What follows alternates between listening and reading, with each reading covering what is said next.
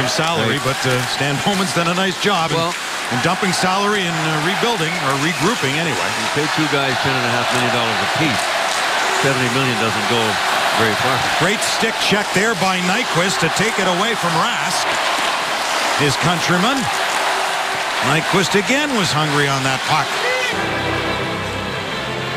But you can't snooze around him. He's like Datsyuk. He will pick your pocket like that, and. Uh,